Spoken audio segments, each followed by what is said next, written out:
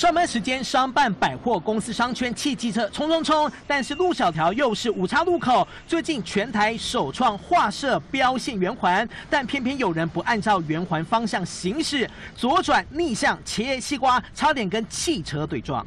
就是直接逆向走过去啊，因为他没有交通号志，也没有灯号。如果不是当地人的话，第一次走的话比较没有经验的。这处五岔路口就在高雄三多商圈百货公司后面，文衡三路、广西路、南天街道的五岔路口，最近画设小圆环，从文衡三路左转广西路，要按照圆环逆时针方向走才是对的。从圆环下方逆向切西瓜就是不 OK。从广西路左转文衡三路也是同样道理。小型五岔路是高雄独创的小圆环，来巷子就是比较模糊的地方，有的时候会矫枉过正，老百姓也是要照做。民众质疑路口不大，画小圆环有点扰民。目前小圆环还在劝导期，不会开罚，但未来不排除考虑新增科技执法，但还是有长辈不服气。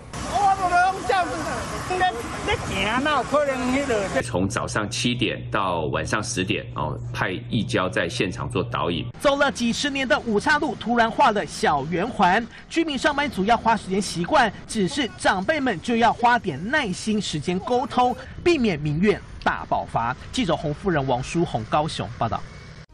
我是陈志根。从踩在风灾的坍方断桥，到卫星云图背后的天气预报，棚内棚外的采访播报经验持续冲击火花，督促我报道真相。更多新闻请锁定中视 YouTube 频道，记得按赞、订阅、分享，并且开启小铃铛哦。一名男子头包着衣服，在医院的自动缴费机旁鬼鬼祟祟。男子用力撬开蹲下捞钱，两三分钟得手现金两万五千九。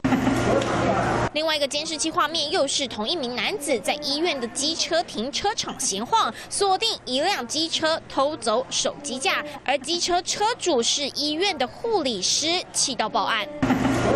被撬开偷钱的自动缴费机毁损无法使用，医院贴出暂停使用告示。而警方调查这一名郭姓男子，二月十九号陪病住院，深夜偷取缴费机，二十五号自己生病住院偷手机架，被警方逮捕时在病房做笔录，让警方傻眼。窃贼住院也要偷，此次因病住院又下手行窃。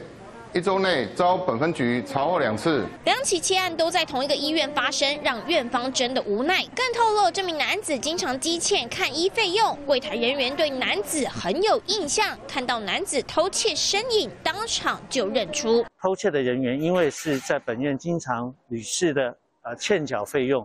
所以，对于缴费人员来讲，他们对他有一点印象。男子把医院当成偷窃场所，陪病也偷，自己急诊住院也偷，生病还不忘偷窃，走警方函送法办。记者赖冠章台南报道。我是方燕迪，主播工作让我学习倾听所有人的意见，也要保留自己的判断。也许我们无法踏遍所有土地，但能从新闻里看尽每一道风景。我是方燕迪，请您锁定中视 YouTube 频道，记得要按赞、订阅、分享，开启小铃铛哦。监视器画面中，修理车从左上角出现高速冲撞，直接撞进炸鸡摊，整个摊位都被撞歪，弹跳起来。就这么刚好，一旁的老板娘惊险往内逃，差点就被撞上。再往前几秒，肇事修理。车侧立起来，快垂直撞完炸鸡摊，再刷一排连撞整排机车，九辆机车瞬间被撞成碎片。摊位遭撞，第二摊接下来机车全部遭冲撞。肇事驾驶下午一点多经过凤山大明路，说因为车子爆胎，才向右边撞一整排，一路失速冲撞。自己脚后，是。没错，错他没错，他一直一直一雷来啊，还好我的客人跑掉了，要不然我的客人就受灾殃。就听到嘣一声，然后就跑过去了。那警察都说我命很大，因为我就刚好转身。二十五岁的肇事驾驶是中古车行老板，肇事车挂的也是试用车牌，外出买午餐却突然爆胎，酿成大祸。轮轮胎它突然破掉，然后我们突然打滑，撞到四间的摊商以及附近停放九辆。重机车。新北市发生离谱爆冲，白色轿车突然爆冲，朝着对向两部车撞上去，直接在马路中间乌龟翻。但肇事驾驶却下车跑过对向马路，居然当场照逃。警方事后在车上发现毒品，惊险的还有高雄人物，修旅车开得好好的，右边机车突然打方向灯，瞬间压车鬼切，连切两个车道，立刻遭到猛力追撞，连人带车滑垒撞上水泥围栏，骑士整个人弹跳起来，躺在安全岛上。网友一面倒直一。骑士哪来的勇气？不看后面直接切，是移动神主牌，没看到进行机车吗？修旅车爆胎刷一排，惊险撞飞炸鸡摊，或失控冲撞撞到乌龟翻，违规骑士鬼切被撞飞，惊险车祸触目惊心。记者洪夫人林志慧高雄报道。我是王一仲，新闻的产业带给我满满的使命感。不论是贴近民生的议题，或是国际的话题，我都能够精确、真实传达最完整的资讯给各位观众。当然，更多的新闻请锁定中视 YouTube 频道，记得按赞、订阅、分享，并开启小铃铛哦。